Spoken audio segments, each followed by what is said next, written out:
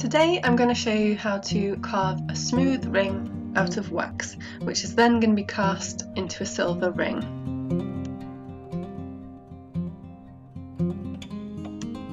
So the first thing that we're going to do is we're going to choose the finger that we want to make our ring for.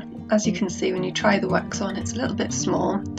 Um, so what we're going to do is we're going to place our thimble on the thumb that's going to hold the wax and we're going to start carving from the inside of the wax to take away enough that our wax will fit our finger.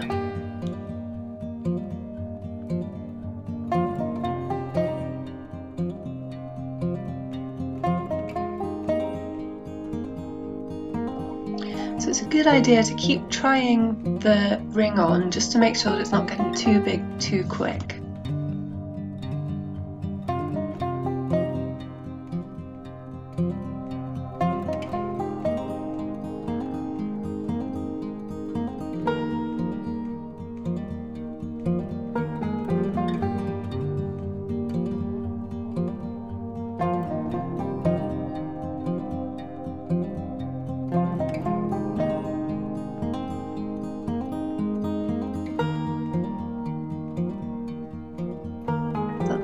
Really nicely. I'm happy with that.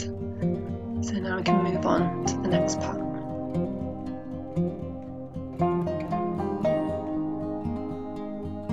So now what we're going to do is get your design sheets and your wax and we're going to draw around the edge of each side of the wax here and this is going to help us to make our design.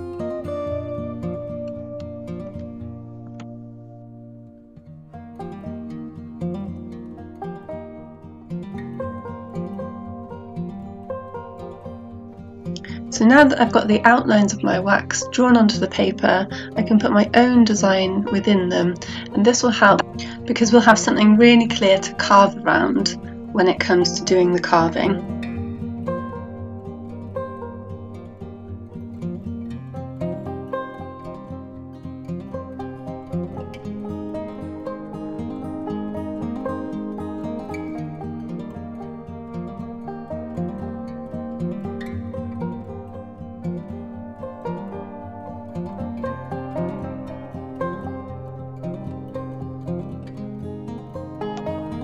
I want this design to be very symmetrical. So I'm going to cut around my main design, I'm going to fold it in half and then I'm going to cut my little design out so that I can have both sides the same.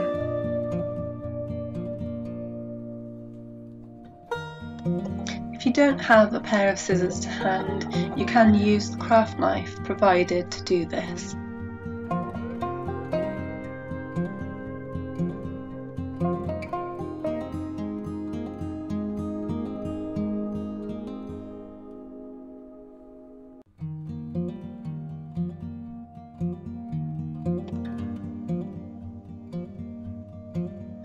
Now that I've got my template cut out, I'm going to place that onto my wax and I'm going to start to draw around it.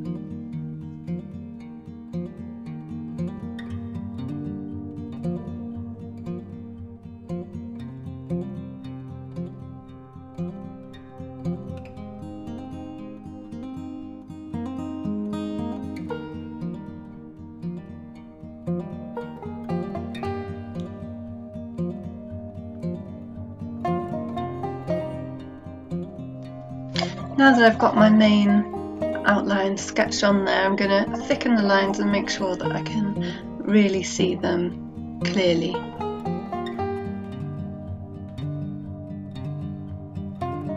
If you want to be a little bit more free with your design, you can just get your pencil and draw straight onto the wax.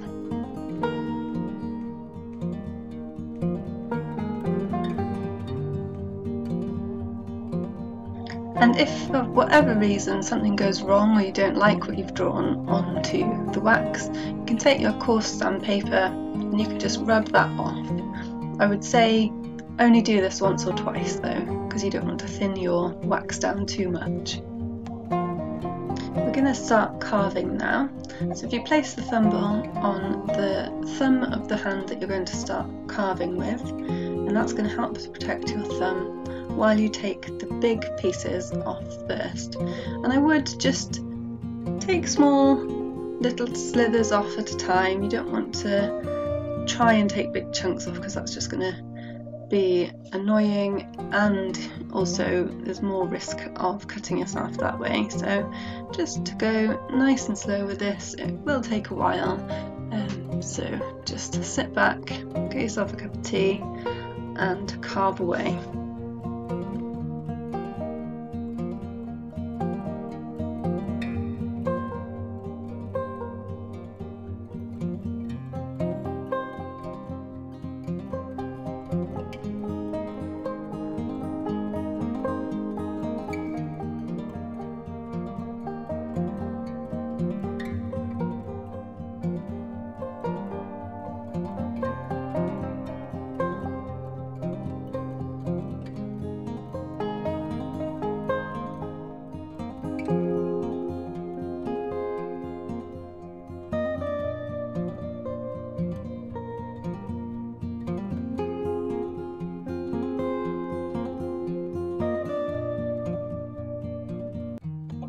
When you're happy with the overall look of your ring and you're happy with the shape, I'm going to take our coarse sandpaper and we're going to start to keep shaping the ring a little bit but also start to smooth some of those more jaggedy edges and the edges that are left by the scalpel.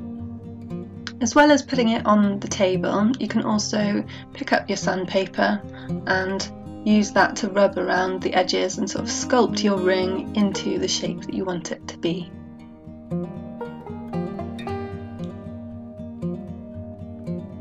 When you've got your outside looking how you want it, you can curl up your paper even more and start to do the inside of your ring.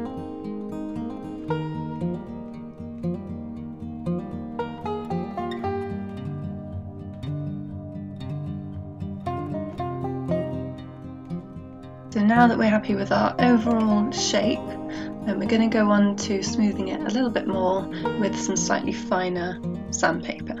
So we'll rub this all around and we'll try and get the scratches out that we made with the rougher, coarser sandpaper.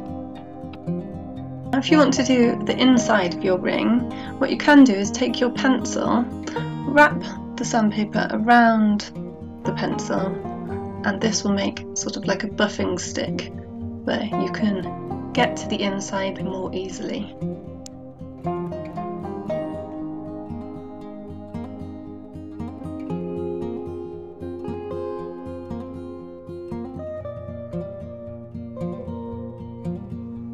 I find that putting this sandpaper flat on the table and rubbing the wax onto it is good as well because you can apply a little bit more pressure and it'll make your job a little bit quicker.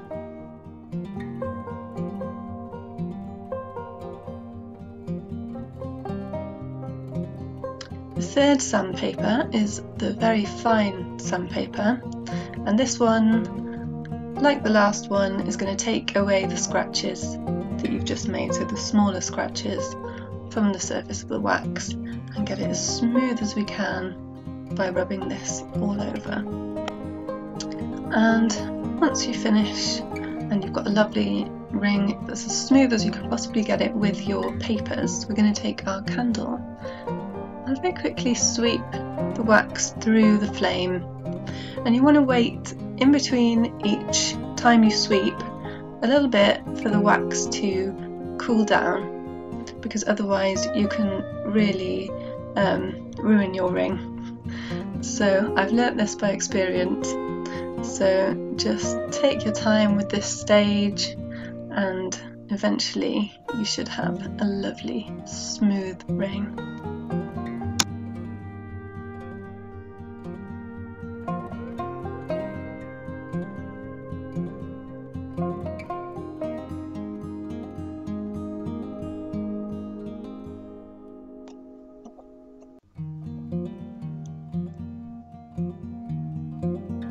Now we're going to do our final sweep through flame and we have our finished ring, nice and smooth and ready for casting.